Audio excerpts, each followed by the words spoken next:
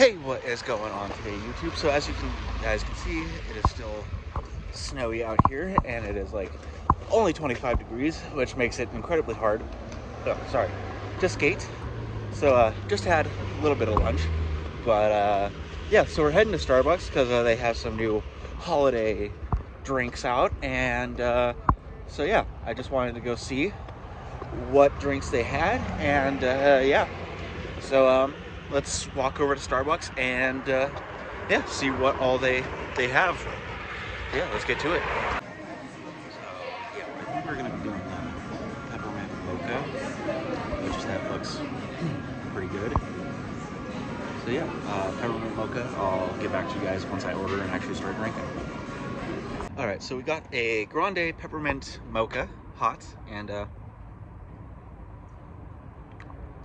very Christmassy definitely very Christmassy. It kind of leaves an odd after flavor afterwards, but it's not so annoying that you can't enjoy your drink.